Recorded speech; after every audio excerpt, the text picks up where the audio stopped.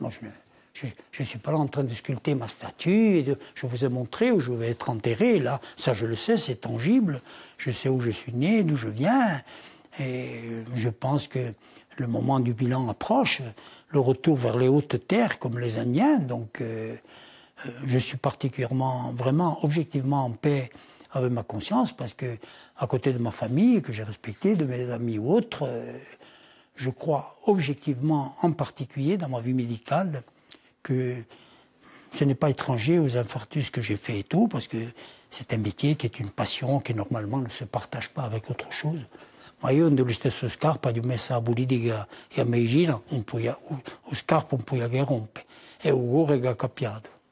La mort, Monsignor Comment? La mort? Oui, la mort, j'y pense bien entendu très souvent. Et c'est un chemin, c'est un chemin apaisant, euh, c'est un chemin d'humilité, mais c'est surtout une leçon. Une leçon, c'est que euh, les vies difficiles, les vies dures, euh, les destins contraires contribuent à forger les personnalités. Ça vaut pour les peuples, ça vaut pour les régions. Ce n'est pas dans les délices de Capoue que se forment les résistances, les anticonformistes, les oppositions aux injustices.